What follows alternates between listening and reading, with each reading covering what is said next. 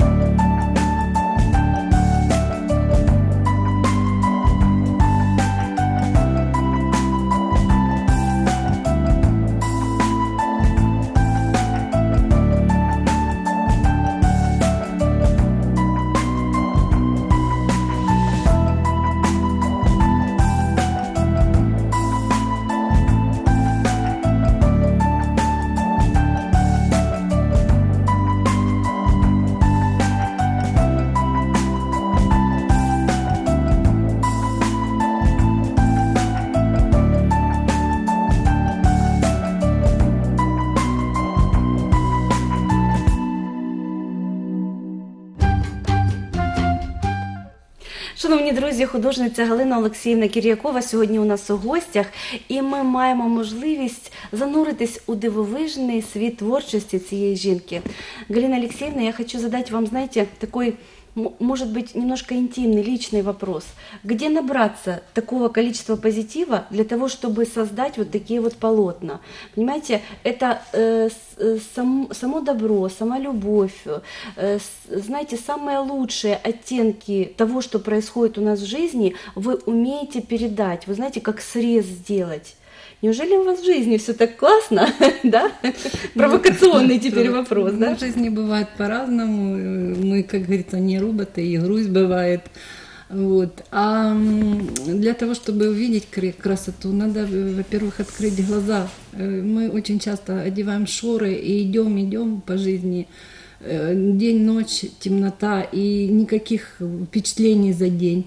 Вот. Для того, чтобы увидеть красоту, надо на нее настраиваться, надо ее искать, надо просить, чтобы она пришла в твою жизнь. А в принципе все создала природа, всю красоту. э, Плюс уже до нас создали люди, э, допустим, те же мастера какие-то. Учусь у, будем так говорить, у людей, которые даже писали работы, картины. Ну, я не стесняюсь этого, все у кого-то когда-то учились. Конечно, да, хотя, да. Вот. И поэтому э, любая, любой какой-то, знаете, как вспышка, миг, и рождаются какие-то внутри эмоции. Вот иногда хочу что-то передать, еще даже не знаю, начинаю одно вроде в мыслях, рождается другое, выходит и третье. Я не могу написать то, что я замыслила, ну, замыслила умом. Я... Вот, вот это и есть э, творческий процесс Да, поиска, да, да, да, да. Тем не менее, происходит очень красиво, знаете, гармонично. Мне кажется, что самое главное, чтобы любая работа художественного направления, она имела законченность и гармоничность, да. Вот то, что привязывает взгляд, и ты хочешь смотреть, и смотреть, и ты напиваешься вот этим состоянием Да. гармонии. Почему именно цветочная тема? Ну, э, как говорится, по-моему, всю красоту мира э, наша Вселенная сконцентрировала. Ну, в одном из э, факторов это цветы. Еще есть, конечно, много других, но цветы это вообще пик создания красоты мира. Мироздание, да? Показывает о том, что мир прекрасен, жизнь прекрасна. Ну и задумайтесь, она недолговечна, поэтому как-то что-то нужно оставлять после себя, какую-то память. Даже тот цветок, который недолговечен, э, на холсте он будет жить долго. Ну и какая-то будет память о том, что были мастера, и они что-то творили на этой земле. Вы знаете, ваша мудрость, э, она базируется на любви ко всему живому, да? Вот э, как вы считаете, что сформировало вот это вот такое вот позитивное направление и жизнеутверждающее? Или по-другому я поставлю вопрос, что для вас любовь? Ну, любовь это, будем так говорить, гармония. Прежде всего. Гармония с миром, а очень основное гармония внутри. Если тебя внутри разрывают эмоции, какие-то Страсти. да, это та же какая-то зависть, ненависть, страх, то уже как бы уже даже нету у этого человека любви внутри и даже к себе. То есть Пожалеть можно, да, э, конечно, такого человека, но тем не менее, я думаю, что каждый из нас проходит, наверное, какие-то, да, стадии очищения. Конечно, да. Э, Для вас вот самый пик вашего, знаете, гармоничного состояния, это все-таки творческое э, состояние или поиск? Вот до того, знаете, как, потому что э, люди творческого плана, э, некоторые считают, что апогей это не совсем интересно, а вот то, когда рождаются, когда бури вот эти вот внутренние разрывают душу, когда хочется, ищешь, поиск, вот это, то, в принципе, то, о чем вы говорили, вот это самое интересное. Да, это самое интересное. Иногда э, внутри разрывают вот эти бури, хочется выплеснуть какие-то красивые цветы, эмоции, а при этом какая-то опасочка, ой, я не смогу.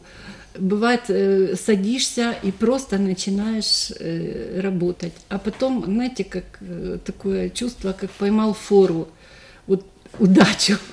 И пошла, пошла, пошла работа, и действительно вы, выстрелила, получилось. Иногда бывает, холст берешь, загрунтовал и оставил. Все. А на следующий день смотришь, а там уже пол картины. Правда? Да. Такое бывает. Очень часто.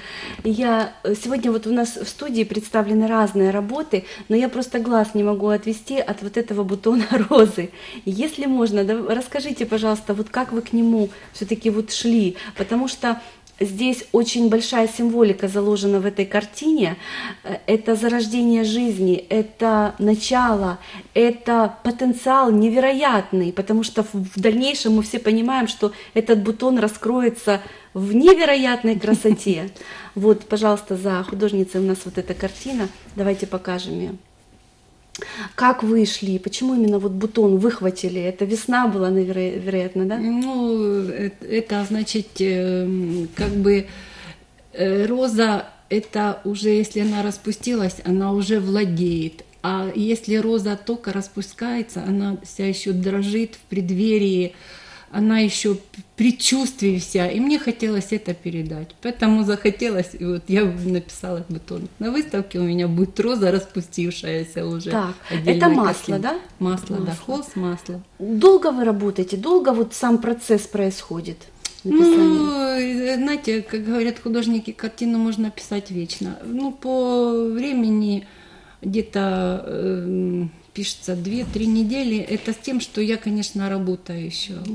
То есть это выходные.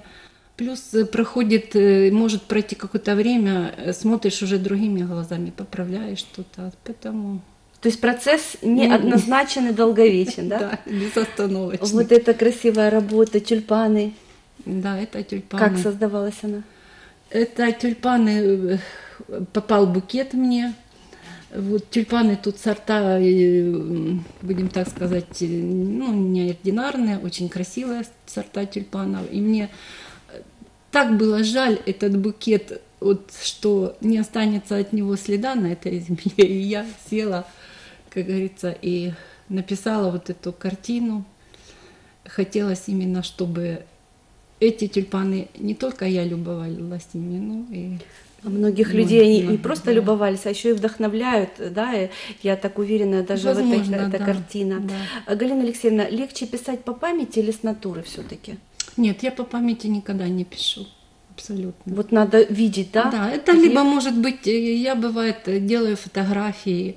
Э, Я вот, допустим, еду на работу, там один год было такое маковое поле прекрасное, и я делала фотографии и писала по это. Ну, сами понимаете, в поле это Конечно, не да. попишешь. И потом а, оно, знаете, мгновенно. Весна у нас такая, вот знаете, Да, она да. ошеломляющая. Вот она наступила буквально Да. 2-3 дня Да, всплески. и уже другие и ты цветы. не успеваешь просто увидеть э, вот тот миг, когда оно раз и все ушло Да, фотография тоже это один из видов искусства, поэтому очень много фотографий.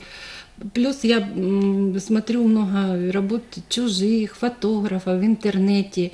Бывает э, настолько б- такая энергоемкая, настолько значимая фотография, э, там уже столько позитива и столько ну, красок, палитры, я могу брать эту фотографию за основу. Я сейчас э, хочу задать вопрос, который, в принципе, для наших зрителей, знаете, такой основоположный. Вот вы говорите, что вы аматор, художник-аматор, да? И вот этот момент, когда нам нравится, например, рисовать, когда нам нравится писать картину, и то, что я не умею, как переломить себя и направить, и дойти до желаемой цели. Потому что очень многие аматоры, знаете, уходят, отходят в стороны. Очень много трудностей, очень много сомнений, быть или не быть, надо или не надо, э, там, бездарь я, или наоборот, вот где-то есть вот эта Ну, искра да. Божья, да? Вот как быть в этом случае? Ну, в этом случае надо прекратить себя судить, отпустить э, какую-то надумыванность, э, самотребовательность, самоуничижение, иногда даже отключить какое-то сознание, включить это голову, включить в районе души, сердца как бы восторг. Ну, и- оно само поведет, да, да? и оно как-то будут всплески. Но, тем не менее, э, вы прислушиваетесь сегодня к мнению э, людей профессиональных. Э, За вашими плечами уже неоднократно, не один раз была выставка, уже много выставок и всеукраинского уровня, и даже международного уровня. Вы состоите с 2008 года в творческом объединении Прибужье. да, да. И вот как вот этот момент критики воспринимаете? И важно ли, когда вот вы слышите, что вот здесь вот чуть-чуть что-то можно подправить?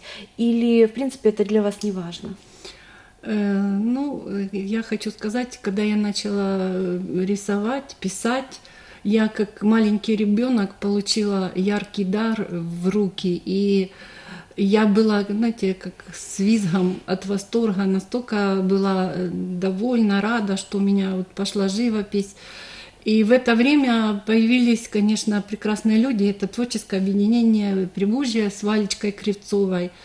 И надо отдать должное, конечно, первые работы мои были душевные, но немножко техника была, и они меня очень поддержали. То есть, если бы на тот момент, может быть, я не встретила хороших людей, где-то какое-то осуждение, может быть, я не знаю, как бы пошла моя это. А в принципе, после того э, встречались, э, у меня есть две подруги, две художницы, которые меня направляли, подправляли. Вот иногда даже как-то, как называется у художников, вытягивали, помогали вытянуть какую-то работу. Это Иночка Кушниренко и Светочка Завтора. Поэтому я очень прислушиваюсь. Светочка меня каждую работу оценивает, говорит, тут там, допустим, плотнее, тут взять такой цвет. Поэтому слушаю, конечно. Как повезло вам в жизни, что у вас вот параллельно с вами, да, есть вот люди, которые могут а, направить так, что хочется делать что-то, создавать дальше, да, а не остановиться и Да. отойти. Э, давайте поговорим о выставках, потому что много уже выставок, да, вот р- э, разноплановых, я уже об этом сказала. Тем не менее, для вас какие самые значимые? Ну, каждая выставка прекрасна и значима по-своему. Ну, была у меня юбилейная выставка в 2009 году Новой Миколаевщины. Это когда уже была такая, э, если на тех выставках я выставляла несколько работ, то на этой было выставлено были 20. И... Это первая персональная Да, ваша это была первая персональная выставка. Вот, поэтому она как-то запомнилась, э, и она, в общем-то, была очень освещена и в газетах, по-моему, и даже по телевидению. Ну, не даже, а точно. Было, да? Да, да. А, Я хочу приоткрыть немножко тайну э, и сказать о том, что э, вот буквально на следующей неделе для николаевцев творческим объединением Прибужья готовится такой, знаете, милый, очаровательный и очень добрый сюрприз. Это следующая персональная выставка Галины Алексеевны Кирьяковой. Это юбилейная выставка. Галина Алексеевна, я вас хочу поздравить вот на этом этапе именно с Спасибо. новым начинанием, потому что это для творческого человека всегда очень интересно. Это новая страница, это то, что открывает новые горизонты. Да. Тем не менее, что вы ждете лично от этой выставки?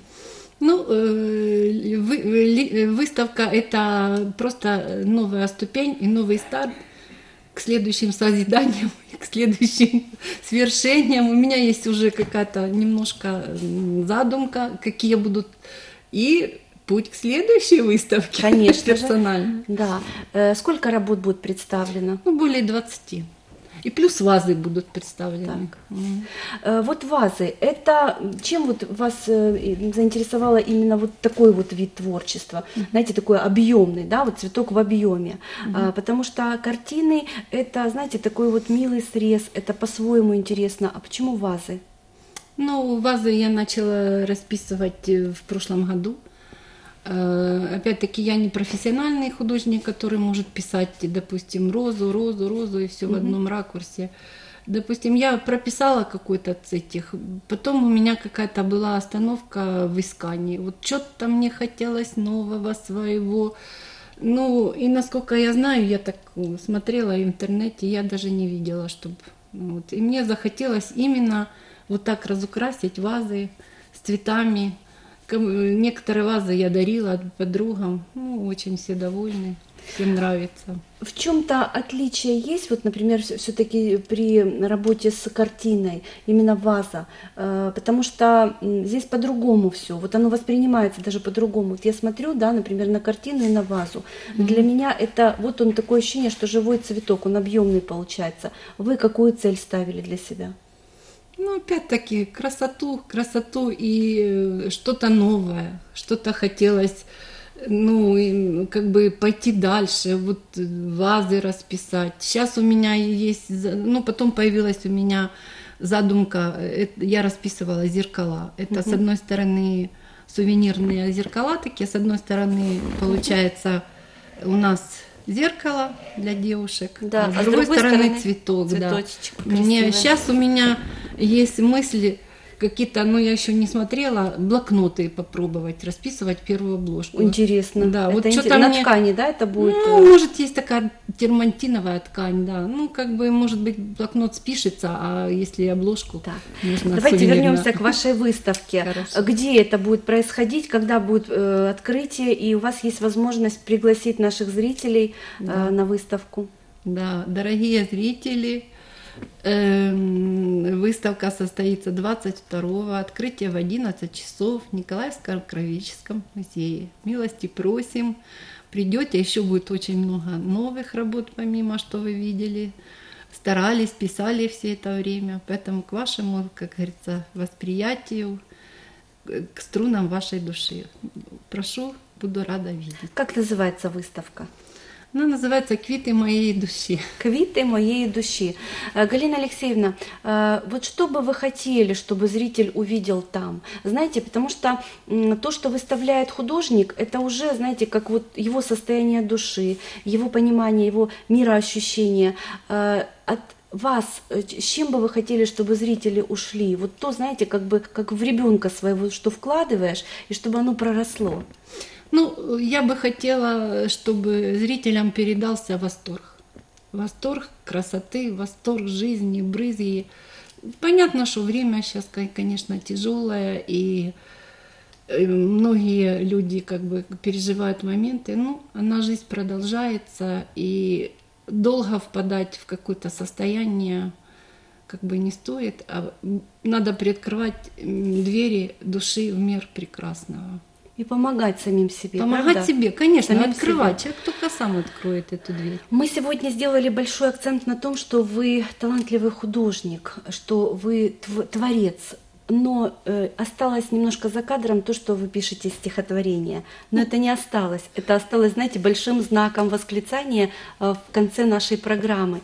И сейчас я бы хотела для наших зрителей маленькое стихотворение, которое станет, может быть, знаете, как апогеем нашей беседы и заключительной яркой точкой.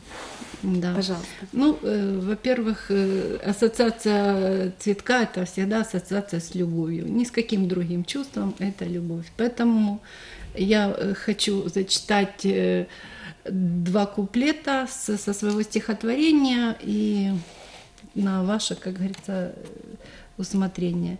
Любовь не может злиться, божественная нить, дары небес зорнится, ее удел любить. Не может ненавидеть, бросая вены кровью в ток. Ее удел увидеть в твоей душе цветок. Ну а дальше послушайте на моей на выставке. выставке. Галина Алексеевна, желаем удачного открытия.